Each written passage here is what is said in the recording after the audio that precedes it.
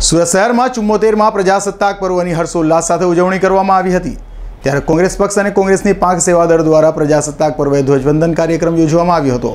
આજે ગુરુવાર તારીખ છવ્વીસમી જાન્યુઆરીની ચુમ્મોતેરમાં પ્રજાસત્તાક પર્વની દેશભરમાં આન બાન અને શાંતિ ઉજવણી કરાઈ હતી. તે સુરત શહેર કોંગ્રેસ દ્વારા પણ નાનપુરા ખાતે આવેલા કોંગ્રેસ કાર્યાલયે ધ્વજવંદન કાર્યક્રમ યોજવામાં આવ્યો હતો. સુરત શહેર કોંગ્રેસ પ્રમુખ હસમુખ દેસાઈના હસ્તે તિરંગાની સલામી અપાઈ હતી.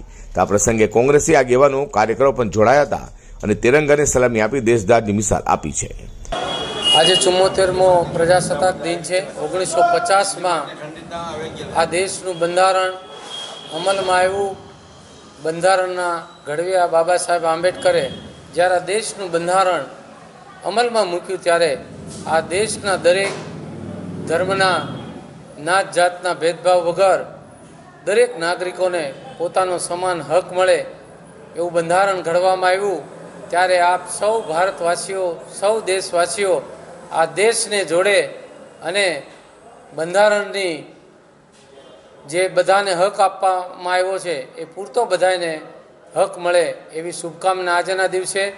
આ સ્વતંત્ર પર્વને ધામધૂમથી દેશવાસીઓ ઉજવે, એ જ મારી હાર્દિક શુભકામના.